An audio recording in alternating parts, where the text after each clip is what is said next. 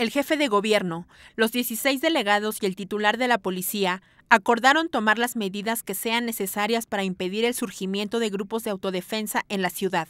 La postura fue asumida durante la reunión semanal entre el mandatario y los titulares de demarcaciones para revisar temas de seguridad.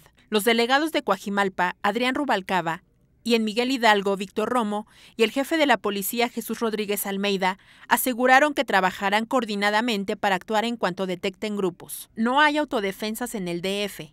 Por eso hemos venido trabajando el tema del escudo centro. Hemos reforzado 56 puntos limítrofes.